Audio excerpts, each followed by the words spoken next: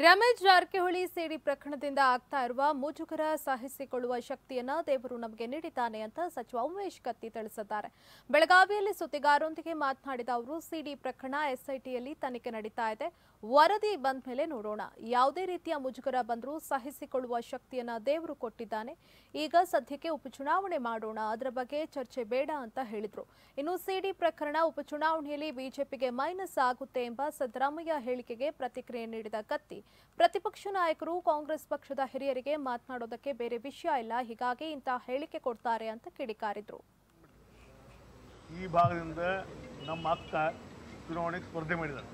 ಈ ಅಕ್ಕ ಮಾಡಿದಾಗ ನಾವೆಲ್ಲರೂ ಉಸ್ತುವಾರಿ. ಇವತ್ತು ಬೆಳಗಾವಿಯಲ್ಲಿ ಬೆಳಗಾವಿ ಲೋಕಸಭೆಯ ಅನಿವಾರ್ಯ ಕಾರ್ಯಗಳನ್ನು ಬಂತ ಈ ಚುನಾವಣೆಯಲ್ಲಿ ಶ್ರೀಮತಿ ಸುಮಂಗಲ ಸುರೇಶ್ ಅಂಗಡಿ ಅವರು ಸ್ಪರ್ಧೆ ಮಾಡ್ತಾ ಇದ್ದಾರೆ ಭಾರತೀಯ ಜನತಾ ಪಕ್ಷದಿಂದ. ಅವರ ನಾಮನಿರ್ದೇಶವನ್ನು ಸಾವಿರದ ಹನ್ನೊಂದರಿಂದ ಒಂದೂವರೆವರೆ ಒಳಗಾಗಿ ನಾಲ್ಕು ಭಾಗಗಳಲ್ಲಿ ನಾಮನಿರ್ದೇಶನಗಳು ಮಾಡ್ತಾಯಿದ್ವಿ ಅದಕ್ಕಿಂತ ಮುಂಚಿತವಾಗಿ ಗಾಂಧಿ ಭವನದಲ್ಲಿ ಕಾರ್ಯಕರ್ತರ ಸಭೆಯನ್ನು ಏರ್ಪಡಿಸಿ, ಕಾರ್ಯಕರ್ತರ ಸಭೆಯನ್ನು ಉದ್ದೇಶಿಸಿ ಎಲ್ಲ ನಮ್ಮ ಜಿಲ್ಲೆಯ ಮತ್ತು ನಮ್ಮ ಭಾಗದ ನಾಯಕರು ಬಂದು ತಮ್ಮ ಅನಿಸಿಕೆಗಳನ್ನು